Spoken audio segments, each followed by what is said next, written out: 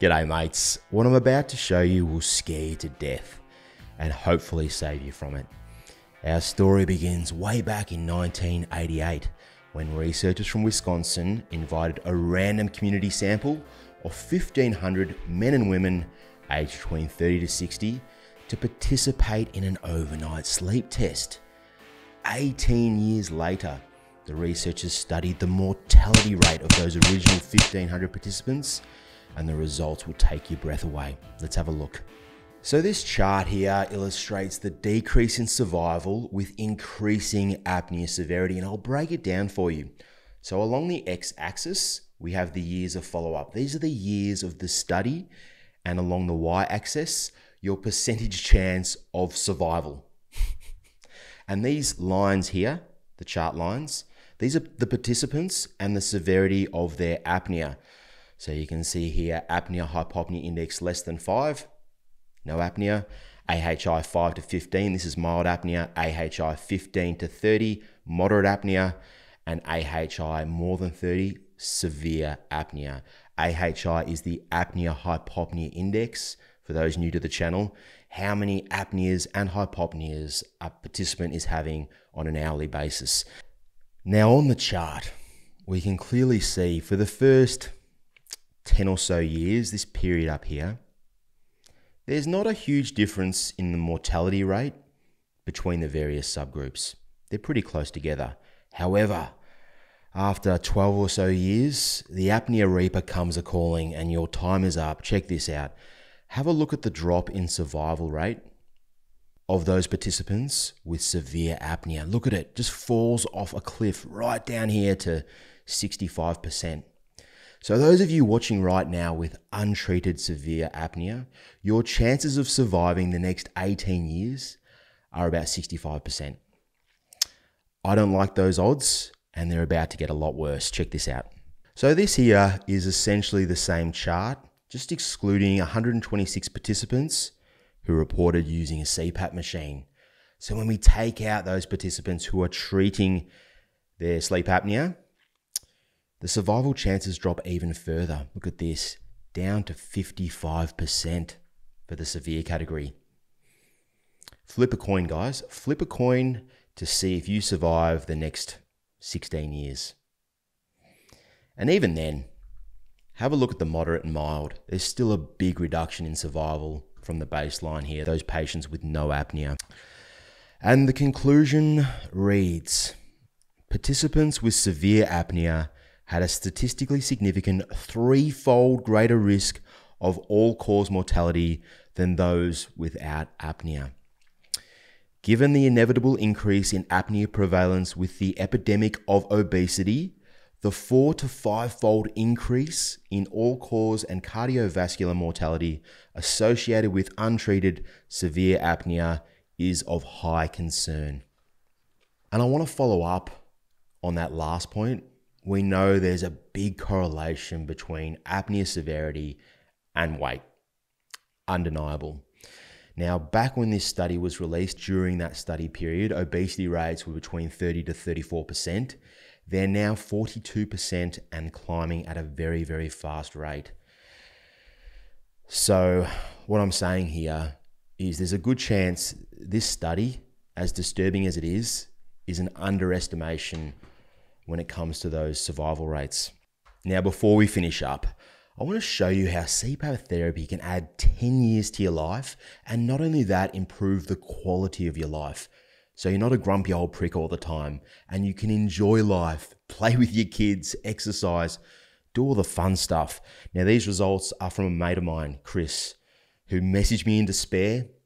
I did a sleep test on him and then set him up with a CPAP machine. Here's the results prior and after CPAP therapy.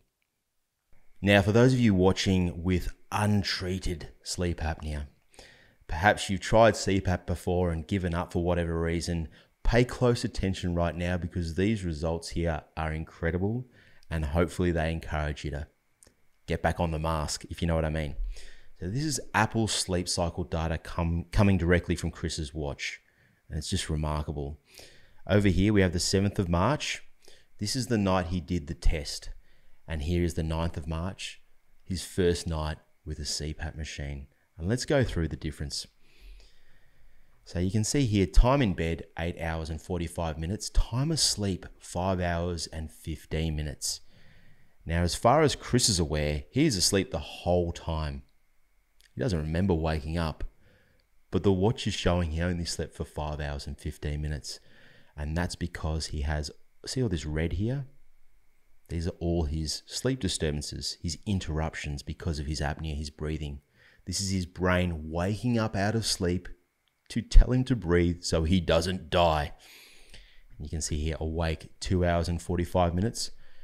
REM sleep, he had 18 minutes of REM sleep. These little light blue sections here, that's his REM sleep. He's not doing any dreaming. He can't get into good REM sleep. Core sleep, 4 hours and 57 minutes. And deep sleep, 0 minutes. Donuts, no deep sleep. Now let's juxtapose that with his very first night of CPAP therapy, and I can just imagine his brain and his body just having the most amazing sleep. for the first time in years, just having a proper sleep, and have a look at it. 8 hours and 58 minutes time in bed, time asleep 8 hours and 24 minutes. Look at the difference in the awake periods, all the red. He's only got two little awake periods and they're associated with REM, which is what we normally see. Now let's go to the statistics and compare. Awake, three minutes versus two hours and 45 minutes. REM sleep, two hours and 49 minutes of the most beautiful REM sleep. Look at these be- look at the structure of this sleep cycle. Look at this structure here. Look at this beautiful sleep cycle structure. Core sleep, four hours and 10 minutes. And the deep sleep, super important, one hour and 25 minutes of deep sleep versus zero minutes.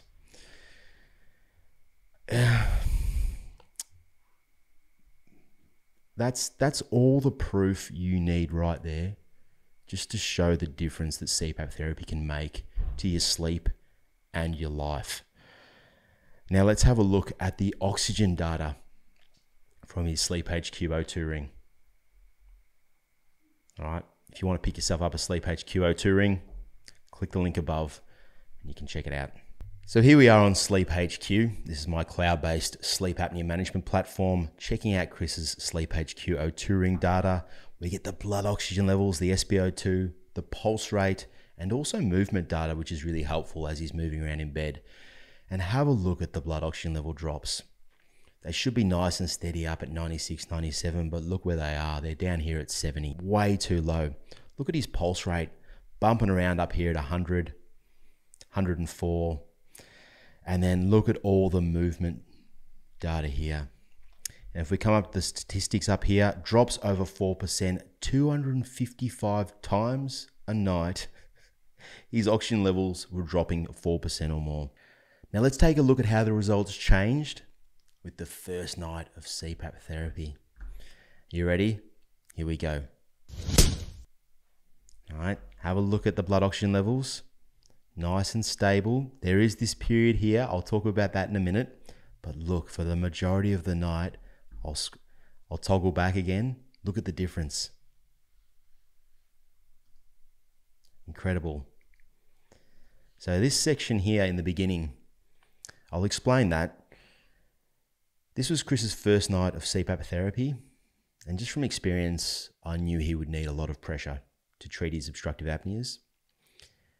However, I didn't want the ResMed delivering too much pressure because it can cause problems, especially for beginners.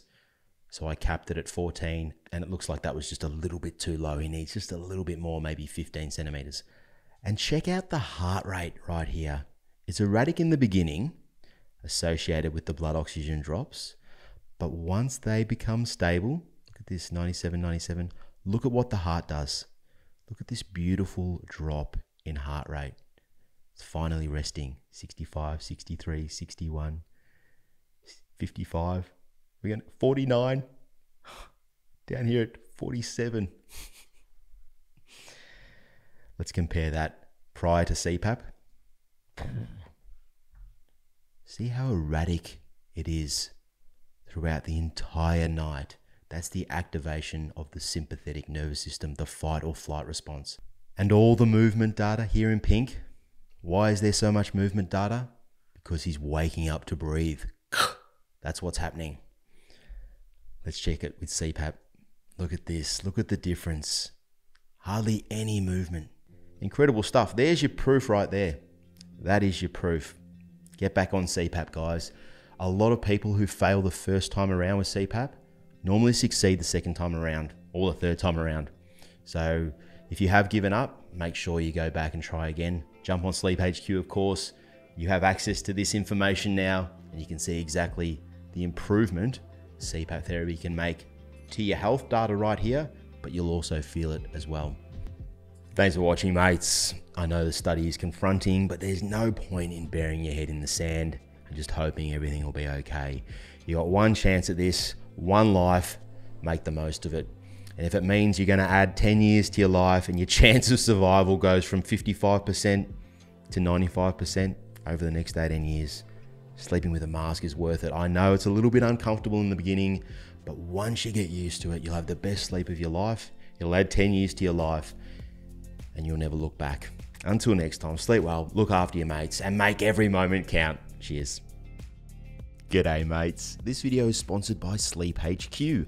Upload, review, and share your detailed CPAP reports with anyone from anywhere. Visit sleephq.com and join our free community today.